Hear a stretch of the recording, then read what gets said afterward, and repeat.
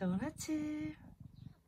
오늘은 춘삼이가 새끼를 낳았어요. 하나는 바닥에 나눴길래 넣어줬더니 춘삼이가 저렇게 핥아주네요.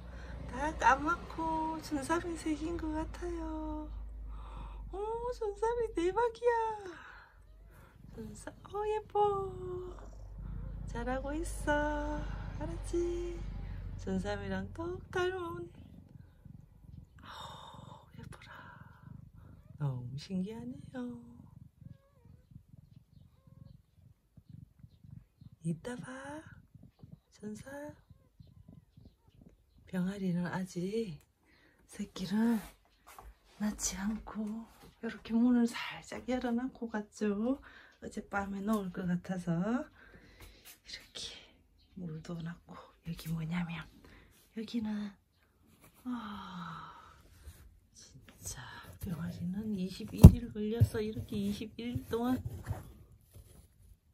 어질고 있어야 된답니다. 아 세상에 준삼이 너무 이뻐 맛있는 간식을 만들어줘야 돼요. 안녕.